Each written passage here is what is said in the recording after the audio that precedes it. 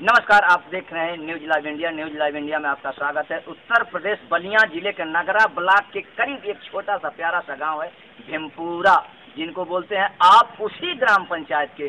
देखिए, इनको देखने से यह लग रहा है कि भाई वास्तव में इनके पास जनूनी ये आपको बताते चलें और दिखाते चलें कि आज़ादी के सैतालीसवें, सन सैतालीसवें आज़ादी में बलिया जिला एक नंबर जिनको कहते हैं वीरों की धरती और जवानों का ये तो देश सही है।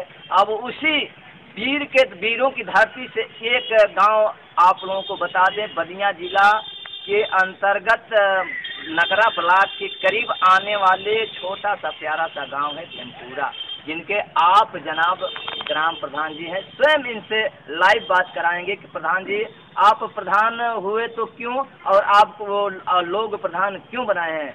आपसे बातें होंगी, प्रधान जी नाम बताएँ। ग्राम सभा भीमपुरा नंबर एक। राकेश सिंह, मुन्ना। पहले आप भाई को न्यू न्यू लाइव इंडिया, धन्यवाद देता हूँ आपको। रही बात, प्रधान क्यों बनाए?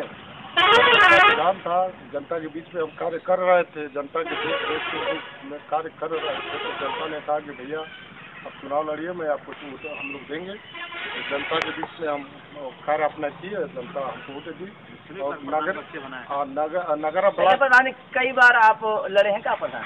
जी दूसरे बार चांस हमको जनता दी है। अच्छा प्रधान जी लोग कहते हैं कि बड़ा इस ब्लॉक में हमको लग रहा है कि आप बहुत वोटों से विजय प्राप्त किए थे इसके लिए क्या करें? और नगरा ब्लॉक में दो नंबर पर थे। हमारे बगल गाँव है, बरवा रस्सीपट्टी एक नंबर वही सबसे अधिक वोटों से उनका विजय हुआ था, दो नंबर पर अपना अच्छा प्रधान जी आपने पहले से लड़ते आ रहे हैं।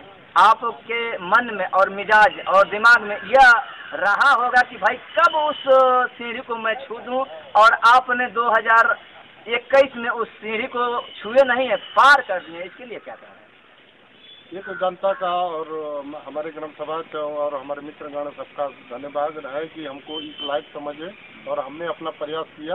और जनता, छोटे भाई, बड़े भाई, माता, बहन और सब लोग हमको आवश्यकता से अधिक प्यार दुला दी। जो हमको सबसे नगरा ब्लॉक में दूसरे स्थान पर चलिए प्रधान जी, आप प्रधान जी से बातें हुई हैं। प्रधान जी कह रहे हैं कि मुझे लोग जनता मेरे मेरे साथ मुझे प्यार और सम्मान दिया है आपको प्रधान जी सम्मान और प्यार दे करके इस गाँव का प्रतिनिधित्व निभाने के लिए बखूबी एक ये है।